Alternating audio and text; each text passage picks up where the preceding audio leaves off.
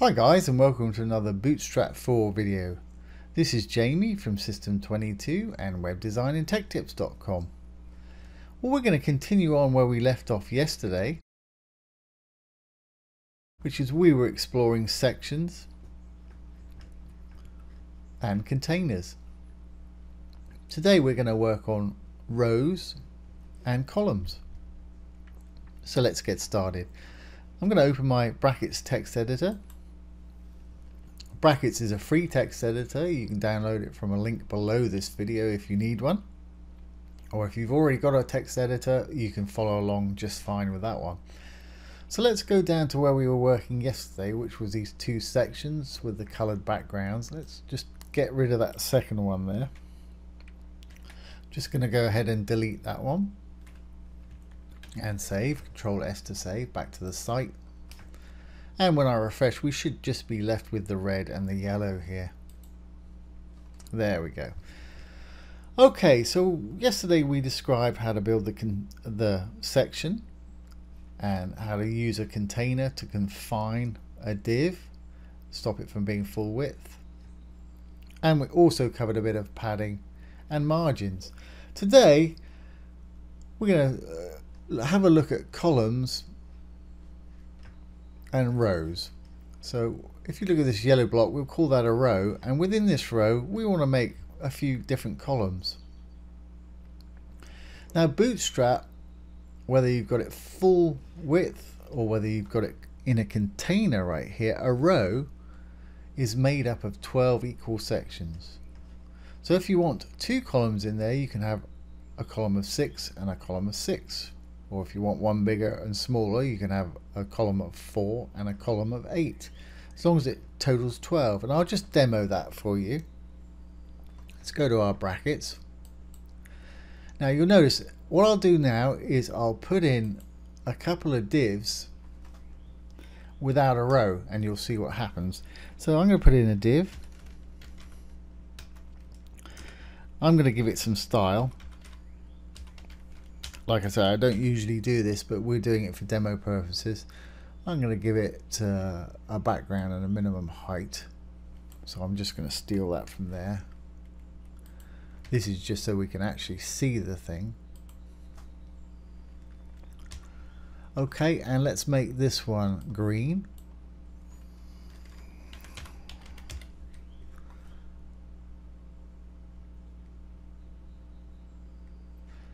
And I'm going to copy that. I'm going to do another one.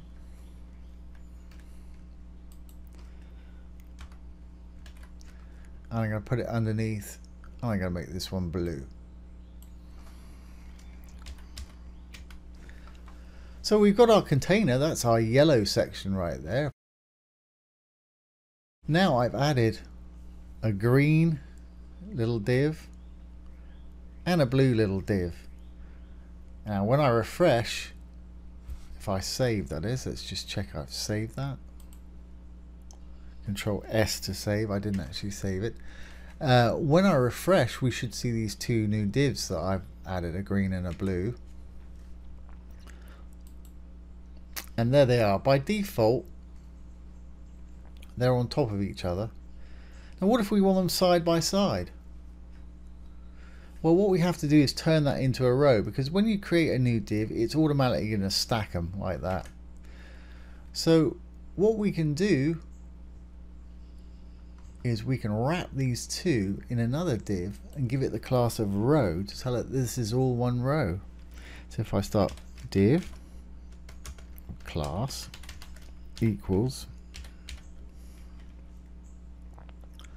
and write row R-O-W inside there close out that div. Now we need to take this closing div and put it on the end of our colored divs that we created just now to sort of wrap them inside of it. Right there. I'm going to select these two just to make it easier to read with the coding. I'm going to just tab them across a little bit. Now we've wrapped them in our row what we want to do Let's give them a class and tell them how big we want them. Remember I said it's got to be 12. We'll give them 6 and 6. So I'm going to give them a class. Equals. Column COL medium. I'm going to say 6 so that's basically going to be half of a half a, a screen width. And I want to do the same with our one below so that's the other half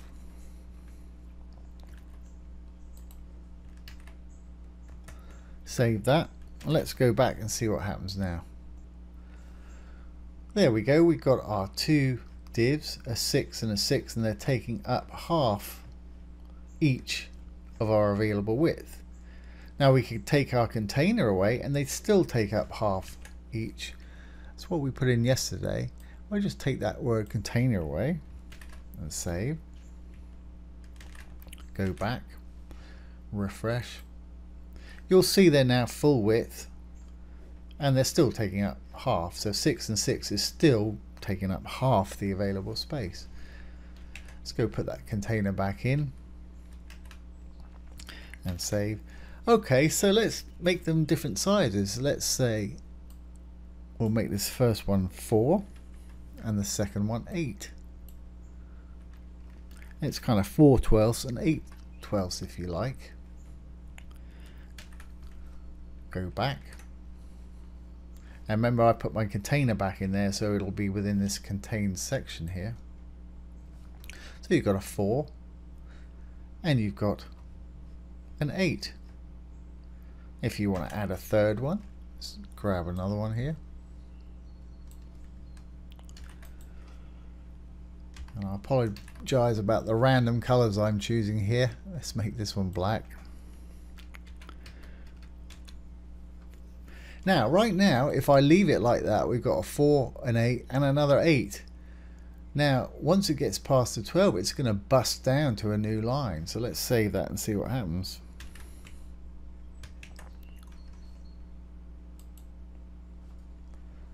There we go, there's our black one. So we got our 4, our 8, another 8, and that's actually just the background there, that's not another one but you could put another four after it and continue building and it'll actually build it up like that for you. So that's basically the structure of columns and putting them into a row there. Let's just take this one away. In fact let's take these two away.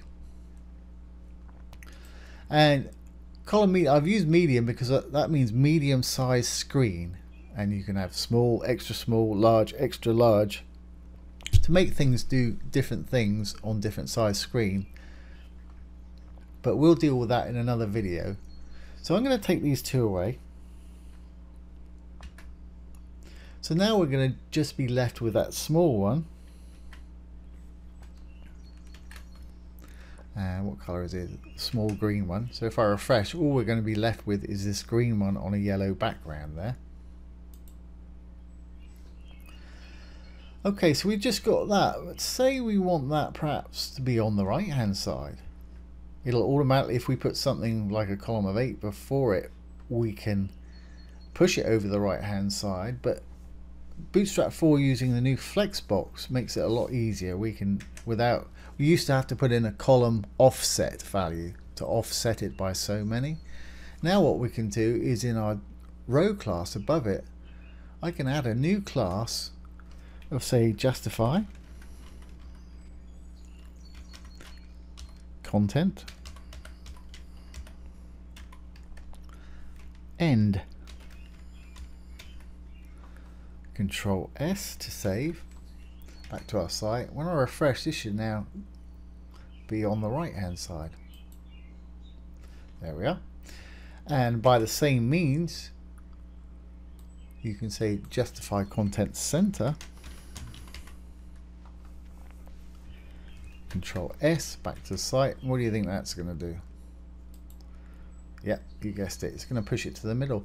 And this will also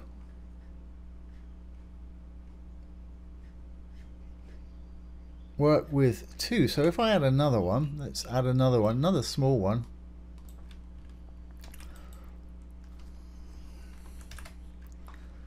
And I guess we'll make that one blue. Although we've got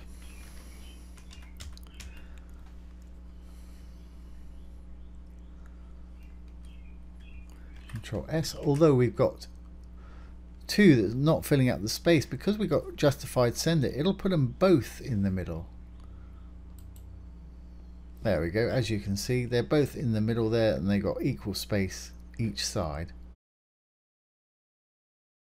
And we can do different things like we can um, make the space between them equal. Let's just add another one. Let's do it this way. Let's add one more. And I'm going to make it, I'm going to make these columns of three. So there'll still be a bit of space there. Uh, so green, blue, black, I guess.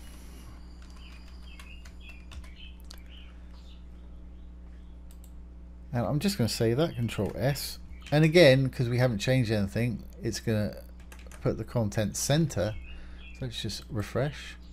There's our three, our three columns of three. And as, as you can see, it's put auto margins either side, same content, no change there. But what we can actually do is, is have it so there's equal space between them, or we can have one left, one middle, and one right, just by changing the terms. Um, so if I go back to my brackets, if I now put justify content between, that should equally space these out left, center, and right.